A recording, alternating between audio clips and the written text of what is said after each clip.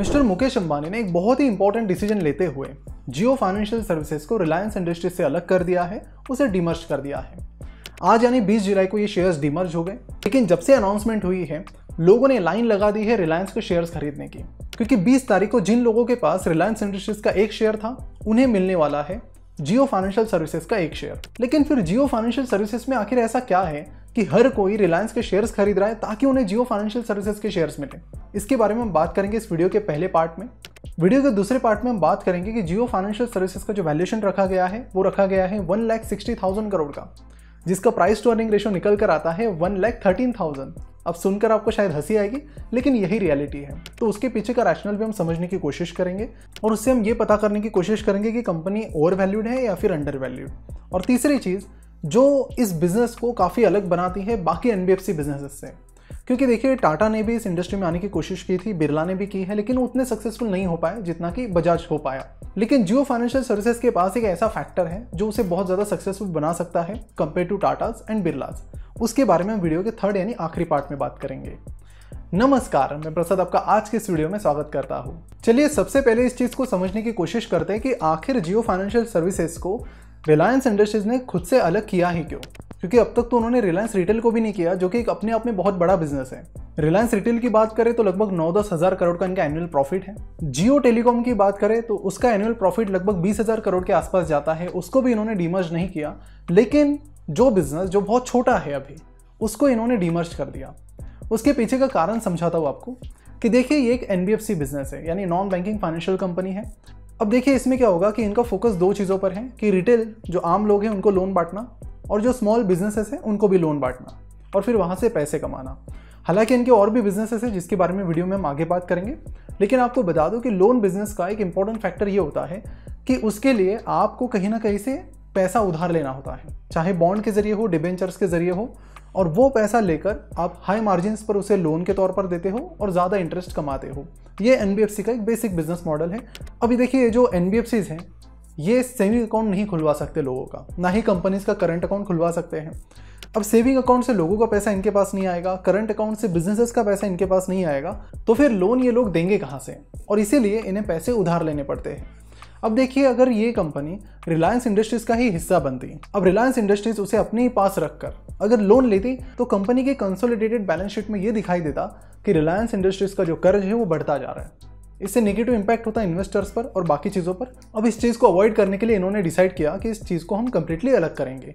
क्योंकि ये बिज़नेस अभी तो कुछ खास शुरू नहीं हुआ है। आगे जब मैं आपको उसके फाइनेंशियल स्टेटमेंट बताऊँगा तो आपको पता चलेगा कि ये बिज़नेस फ़िलहाल कहाँ तक है। तो इसीलिए इन्होंने डिसाइड किया कि इसको अलग करते हैं। उसके बाद हम डिबेंचर्स और बॉन्ड से पैसा उठाएँगे, क्योंकि Jio Financial Services Mukesh Ambani की कंपनी है और बहुत ही स्टेबल और क्लीन इस ग्रुप की इमेज है तो ट्रिपल ए रेटिंग इनको मिल जाएगी। कंसिडरिंग कि रिलायंस इंडस्ट्रीज़ का जो फाइनेंशियल बैकअप है, वो बहुत स्ट्रॉन्ग है। अब ये तो हमने समझ लिया कि Jio Financial Services Reliance Industries से अलग क्यों हुई। अब ये समझते हैं कि जियो फाइनेंशियल सर्विसेज़ आखिर करना क्या चाहती है। तो देखिए कंपनी पाँच चीज़ों पर फोकस करना चाहती है। पहली है रिलायंस पेमेंट सोल्यूशंस जो कि उनका पेमेंट बिज़नेस होने वाला है। दूसरा है Jio payments bank payments bank भी शुरू करना चाहते हैं, लेकिन आरबीआई से अभी तक अप्रूवल आना बाकी है। तीसरी चीज़ है रिटेल फाइनेंस, यही लोन वगैरह देना। चौथी चीज़ है जियो इन्फॉर्मेशन एग्रीगेटर सर्विसेज़, इसके बारे में अभी उतनी क्लैरिटी नहीं आई है। और पांचवी चीज़ है रिलायंस रिटेल इंश्योरेंस ब्रोकिंग यानी कि इंश्योरेंस बिज़नेस में भी एंटर करना चाहते हैं। और इन सारी चीज़ों में इनका जो मेन फोकस होगा, वो होगा लोन पर्सनल लोन्स और बिज़नेस लोन्स अगर हम यहाँ पर देखते कि आखिर कितने लोन जियो फाइनेंशियल सर्विसेज़ ने अब तक बांटे हैं तो नंबर बहुत छोटा है। बजाज फाइनेंस ने लगभग ढाई लाख करोड़ के लोन्स बांटे हैं। पिरामल फाइनेंस ने 63,900 करोड़ के लोन्स बांटे हैं और पूना वाला फिनकॉप ने 16,000 करोड़ के लोन्स बांटे हैं। लेकिन अगर हम जियो फाइनेंशियल सर्विसेज़ की बात करते हैं तो ये नंबर आता है सिर्फ़ 9,149 करोड़ पर जो कि कंपेरेटिवली एक बहुत छोटी फिगर है। बात सिर्फ़ यहाँ तक लिमिटेड नहीं है। अगर हम कंपनी के पिछले तीन साल के फाइनेंशियल स्टेटमेंट्स देखते हैं तो कंपनी की जो ग्रोथ है वो पॉजिटिव नहीं बल्कि नेगेटिव ग्रोथ नज़र आती है। कंपनी का रिवेन्यू लगातार कम होता हुआ दिखाई दे रहा है। और नेट प्रॉफिट जो है, वो भी लगातार कम होता हुआ दिखाई दे रहा है। फाइनेंशियल ईयर 2022 में कंपनी का जो प्रॉफिट था, वो था सिर्फ़ वन करोड़ 68 लाख रुपीज़ लेकिन इसके बावजूद भी कंपनी का जो वैल्यूएशन रखा गया है, वो रखा गया है one lakh sixty thousand crore rupees यानी अगर मैं इसका पी रेशो निकालूं तो वो निकल कर आता है लगभग वन लैख थर्टीन थाउज़ेंड का। इतना हाई पी रेशो तो हमने तो मैंने तो ज़िंदगी में पहली बार सुना है, शायद आपने भी पहली बार सुना होगा। बट ये सवाल ये आता है कि आखिर ऐसा क्यों? तो चलिए उस चीज़ को हम इस वीडियो के सेकंड पार्ट में समझते हैं। देखिए, बात यह है कि इस कंपनी के पास रिलायंस इंडस्ट्रीज़ के 6.1 परसेंट शेयर्स हैं और सिर्फ़ इन शेयर्स की वैल्यू लगभग वन लाख करोड़ के आसपास निकल कर आती है। यानी जो one lakh sixty thousand crore का वैल्यूएशन कंपनी ने डिसाइड किया है, वो प्रॉफिट के बेसिस पर नहीं, बल्कि एसेट्स के बेसिस पर डिसाइड किया गया है, क्योंकि कंपनी के पास अच्छे खासे शेयर है रिलायंस इंडस्ट्रीज़ के। अब सवाल ये आता है कि रिलायंस ने अपने इतने सारे शेयर इस कंपनी को क्यों दिए? तो देखिए आरबीआई के रेगुलेशंस के अनुसार अगर आपको एनबीएफसी बिज़नेस शुरू करना है तो आपको अच्छा खासा कैपिटल दिखाना होता है। और ये कैपिटल इन्होंने शेयर्स के फॉर्म में यहाँ पर दिखाया है। तो अब सवाल ये भी आता है कि अगर company one lakh sixty thousand crore का, जो कि ऑफकोर्स बहुत ज़्यादा अमाउंट है, उसका वैल्यूशन मांग रही है, फिर भी लोग कंपनी की तरफ़ इतनी ज़्यादा मात्रा में अट्रैक्ट क्यों हो रहे हैं? इसका प्राइमरी रीजन ये है कि एनबीएफसी का जो मार्केट है, इसमें बहुत बड़ा स्कोप है। अगर हम यंग जनरेशन की बात करते हैं तो उनकी लाइफस्टाइल आजकल कुछ ऐसी है कि तीस हज़ार की अगर इनकम है तो उनके खर्चे हो रहे हैं पैंतीस हज़ार, चालीस हज़ार रुपये के। और जो ऊपर के खर्चे हैं, उसके लिए फिर वो शॉर्ट टर्म लोन ले रहे हैं, या फिर बाय नाउ पे लेटर जैसी सर्विसेज़ यूज़ कर रहे हैं, जिसकी वजह से डायरेक्टली इनडायरेक्टली एन की जो डिमांड है, वो बहुत बढ़ रही है। और ये जो ट्रेंड है, ये सिर्फ़ डेवलप कंट्रीज़ में नहीं दिख रहा है, बल्कि इंडिया में भी काफ़ी क्लियरली दिख रहा है। जिससे ये तो पता चलता है कि आने वाले टाइम में ये बिज़नेस में काफ़ी बूम आएगा। और इसी के चलते कई सारे फेक चाइनीज़ ऐप्स भी यहाँ पर आए थे, जिन्होंने किसी मतलब लोगों ने यू वोंट बिलीव सालाना सौ सौ परसेंट के इंटरेस्ट पर भी लोगों ने लोन दिए और फिर वो चुकाए भी। उसमें से कुछ लोगों ने जो नहीं कर पाए, नहीं चुका पाए, फिर कई सारे मामले सामने आए सुसाइड वगैरह के। उसके बाद गवर्नमेंट ने उनको बैन कर दिया। लेकिन अभी भी कई सारे प्लेयर्स एक्टिव हैं। वो एक्टिव इसलिए कि मार्केट में अभी भी उन चीज़ों की डिमांड बहुत ज़्यादा है। इसलिए मार्केट को भी ज़रूरत है बड़े एनबीएफसी प्लेयर की। अब बजाज फाइनेंस ने अच्छा खासा मार्केट कैप्चर कर लिया है, लेकिन अभी भी बहुत सारा स्पेस खाली है, जहाँ पर बाकी प्लेयर जम कर सकते हैं और वो भी बजाज फाइनेंस के साथ साथ बहुत तेज़ी से खुद का बिज़नेस भी बढ़ा सकते हैं। अगर हम बजाज फाइनेंस की बात करें तो पिछले पाँच साल में उनका प्रॉफिट कंपाउंडेड सालाना 36 परसेंट से बढ़ा है और इन्हीं पाँच सालों में उनका रेवेन्यू कंपाउंडेड सालाना 27 परसेंट से बढ़ा है। इसी सेक्टर में अगर कुछ मिड साइज़ प्लेयर जैसे श्रीराम फाइनेंस की भी अगर हम बात करें तो उनका भी बिज़नेस बहुत तेज़ी से डबल डिजिट में ग्रो कर रहा है। और इस सेक्टर की बड़ी अपॉर्चुनिटी को देखकर टाटा ने भी इसमें एंट्री की थी बिरला ग्रुप ने भी एंट्री की थी, लेकिन वो उतना बड़ा कुछ नहीं कर पाए। अब उसके बाद एंट्री कर रहा है जियो फाइनेंशियल सर्विसेज़ लेकिन अब सवाल यह आता है कि इस चीज़ को अगर टाटा क्रैक नहीं कर पाए बिरला क्रैक नहीं कर पाए तो जियो फाइनेंशियल सर्विसेज़ कैसे कर पाएगी? इसके पीछे दो बड़े रीजन है, जिसके बारे में हम इस आखिरी पार्ट में बात करेंगे। देखिए जियो फाइनेंशियल सर्विसेज़ में सबसे बेस्ट मूव या फिर best decision mister Mukesh Ambani ने अगर कोई ली होगी तो वो थी केवी कामत को चेयरमैन बनाने की। अब सवाल ये आता है कि मिस्टर केवी कामत है कौन और क्यों मैं उन्हें बहुत ज़्यादा इंपॉर्टेंस यहाँ पर दे रहा हूँ? वो इसलिए कि उनके कार्यकाल में, जब तक वो 2009 तक आईसीसीआई बैंक के सीईओ थे, उस टाइम पीरियड में उन्होंने आईसीसीआई बैंक को इंडिया की नंबर वन बैंक बनाई थी। उसके बाद चंदा कोचर सीईओ बनी आईसीसीआई बैंक की, जिनके कार्यकाल में ये बैंक नंबर टू पर चले गई और एच बैंक नंबर वन पर आ गई।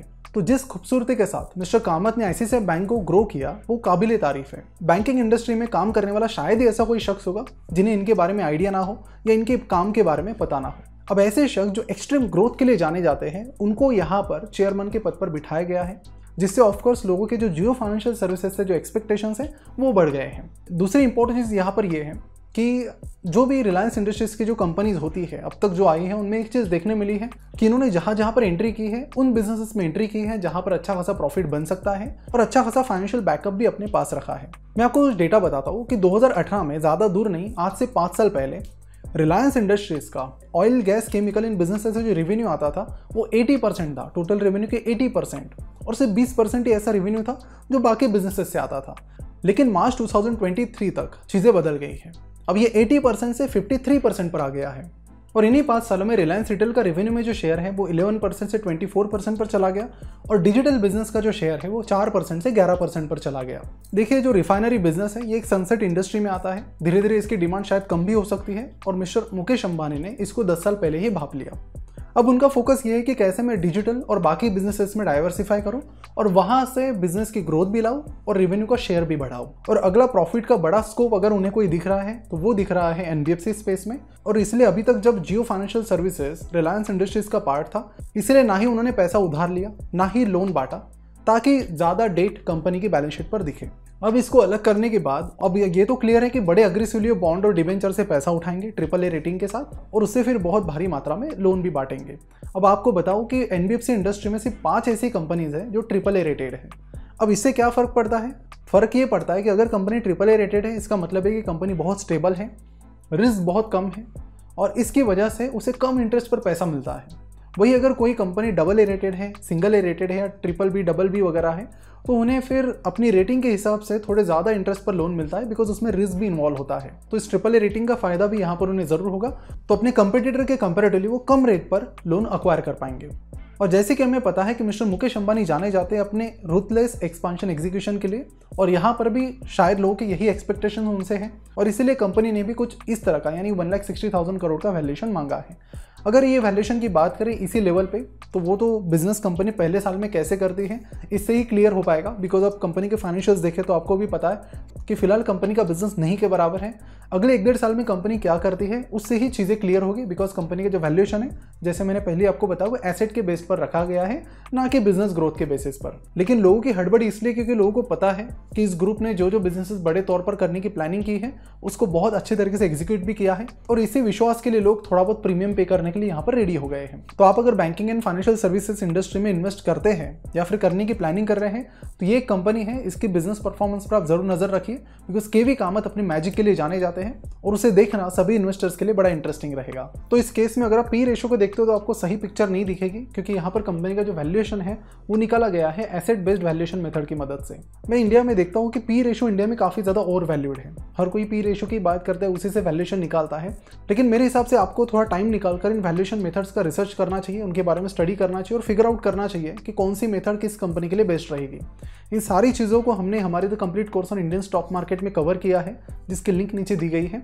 और इस कोर्स में हमने ये भी बात की है कि जो पी रेशो है, बाकी जो रेशोज़ हैं, इनका भी एक गॉड फादर है, जो आपको सही मायने में वैल्यूएशन निकालने में मदद करेगा। तो वैल्यूएशन का एक डीप स्टडी हमने इस कोर्स में करवाया है। तो उसे आप ज़रूर चेकआउट कीजिए। और अगले 24 घंटों के लिए ये कोर्स आपको एक स्पेशल प्राइस पर मिलेगा तो इस ऑफ़र को भी मिस ना करें। इस वीडियो को ज़रूर अपने बाकी इन्वेस्टर दोस्तों के साथ शेयर कीजिए व्हाट्सएप ग्रुप्स पर शेयर कीजिए। अभी कुछ दिनों पहले हमने डिमार्ट पर भी एक वीडियो बनाया था, जहाँ पर हमने ये बात की थी कि डिमार्ट के शेयर प्राइस पिछले कुछ दिनों से क्यों गिर रही है। और इसके बारे में हमने डिमार्ट के फंडामेंटल एनालिसिस पर एक डिटेल वीडियो बनाया है, जिसमें कैसे उनके बिज़नेस के कुछ प्रोस्पेक्टस बदल रहे हैं, उसकी हमने डिटेल में बात की है। तो उसे भी आप यहाँ लेफ़्ट साइड में क्लिक करके देख सकते हैं।